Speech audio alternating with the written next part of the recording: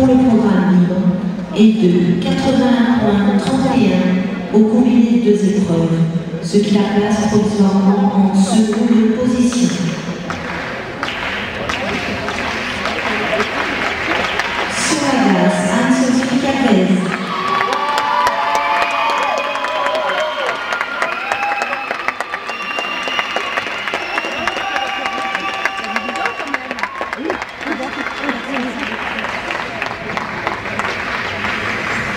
parler avec 200.